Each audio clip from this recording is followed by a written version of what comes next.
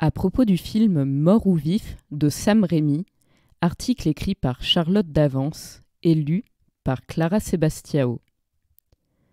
En 1995, quand Mort ou vif sort en salle, il incarne la queue de la comète d'un renouveau du film de western pas toujours imaginatif, dont le sommet est impitoyable de Clint Eastwood sorti en 1992.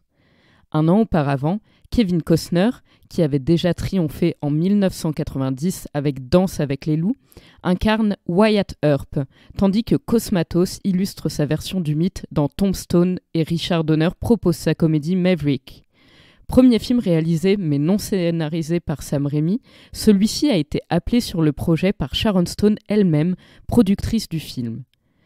Elle a en tête l'invention visuelle Devil Dead 3, l'armée des ténèbres, et souhaite s'allier le réalisateur.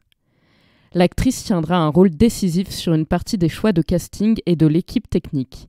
Sam Raimi arrive en terrain inconnu. Il n'est plus entouré de ses collaborateurs habituels et pour la première fois se frotte à des comédiens d'envergure à Hollywood.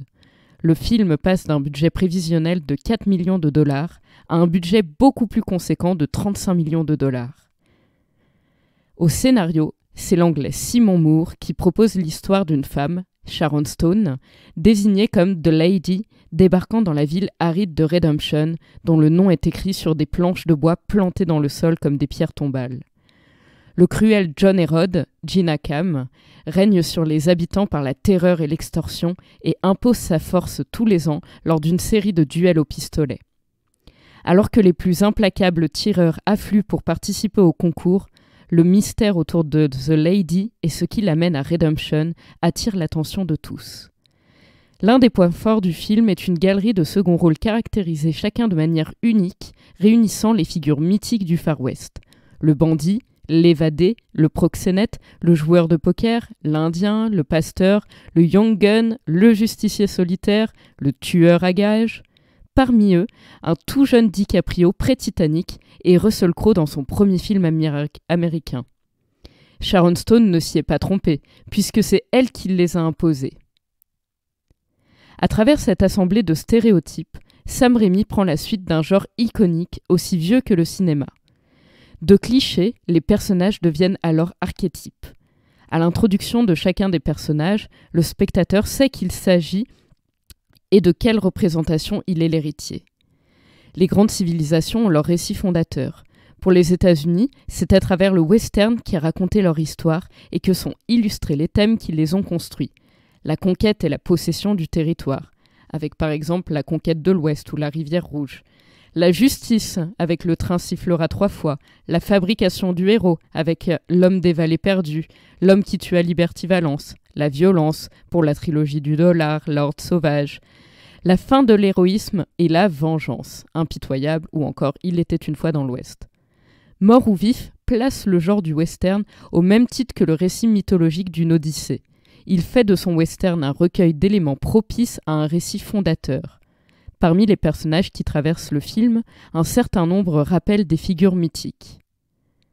Dès l'ouverture, un homme creuse désespérément le sol d'une plaine à la recherche d'un trésor dont il a oublié l'emplacement, comme une malédiction, un supplice qui rappelle Sisyphe et son rocher, ou Tantale et la nourriture à laquelle il ne peut accéder. Cette image de Tantale est à nouveau évoquée lorsque le pasteur Cort, enchaîné, ne peut atteindre un verre d'eau pour étancher sa soif. À l'arrivée de The Lady à Redemption, c'est un jeune garçon aveugle qui l'informe de la situation de la ville.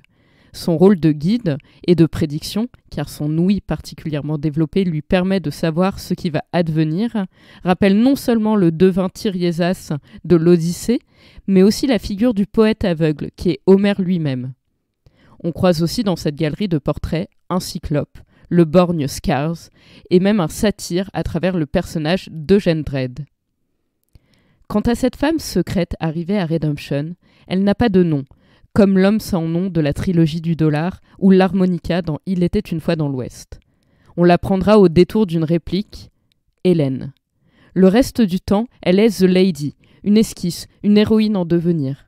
Contrairement à ses adversaires et à ce qu'elle prétend, elle n'est pas à l'aise avec l'idée de tirer sur quelqu'un, encore moins de tuer. En revanche, elle est là pour rétablir la justice.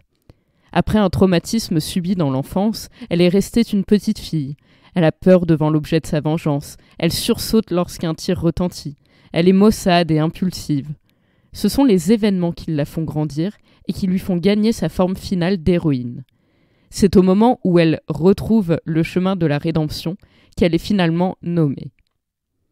Au début du film, elle jaillit dans l'image comme un être lumineux, une figure divine. Son visage est indistinct, le soleil derrière elle prend la place de sa tête, éblouissant le regard du spectateur. A l'inverse, la première apparition de John Herod, nom qui évoque un tyran biblique, est une silhouette derrière une fenêtre rougeoyante. Ses sbires sont aussi des ombres, des longs manteaux sans identité. Durant le film, il y a une succession de face-à-face préparatoires entre les deux personnages. Ils se toisent, se jaugent, s'interrogent, se provoquent, faisant monter la tension d'un cran à chaque rencontre. Le premier duel entre The Lady et Hérode se manifeste encore par un éblouissement. Elle est assise sous l'auvent du saloon, lui invisible à sa fenêtre, l'observe grâce à une longue vue dont le métal reflète le soleil, objet qui présage, et se substitue au futur revolver. Onze duels ont lieu au cours du film. Afin d'éviter les répétitions, Sam Raimi trouve une manière différente de les filmer à chaque fois. À l'aide d'une caméra libérée de toute contrainte, il utilise les possibilités visuelles à sa disposition. Des plus simples aux plus sophistiqués. Changement de focale, travelling optique, panoramique filé, demi-bonnette, travelling composé, plan débulé, tout y est, au point que le film devient une ressource pour un apprenti cinéaste. Ses choix de montage et de cadrage déterminent le temps et l'espace du film. D'un chant contre chant classique entre Ace Lance Erickson et John Herod, on passe en un zoom arrière à une conversation qui, à cause de la distance qui sépare les deux personnages, ne peut avoir réellement eu lieu. Ainsi, d'une situation physique, on passe à une situation psychologique. Les choix visuels sont la traduction de l'intériorité des personnages. Adrénaline, concentration, obsession, peur, excitation, vertige.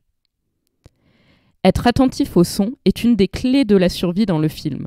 Le truc est révélé par le pasteur Cort, Russell Crowe à The Lady. Un déclic est audible avant le carillon de l'horloge qui signale le début des duels. Carillon qui ne retentit jamais pendant le film, mais remplacé par le bruit des tirs. Le son est particulièrement soigné. Le rythme des coups donnés, des barillets qui tournent, le bruit des gâchettes s'accordent au rythme de la musique et ponctuent les dialogues. C'est le bruit des pas de John Herod, rythmé par le cliquetis des éperons qui précèdent son entrée dans le saloon, ravive les souvenirs de The Lady et lui permet de reconnaître son ennemi. Lors du final du film, le vacarme et le chaos laissent place au silence et c'est précisément par ce bruit caractéristique des éperons et des bottes qu'est réintroduite The Lady pour un ultime duel. En endossant cette signature sonore, c'est elle qui prend l'ascendant. Étonnamment, la réception de ce film foisonnant d'idées fut plutôt fraîche, les intentions du réalisateur mal comprises, l'ensemble taxé de parodie. Peut-être le film a-t-il souffert d'une saturation des spectateurs et de la critique face à l'abondance des westerns à l'époque de sa sortie. Mort ou vif mérite toutefois d'être revu comme une œuvre hyper stylisée et riche. À un genre codifié et maintes fois répété, Sam Raimi a apporté la vivacité de sa caméra et l'inventivité de sa mise en scène.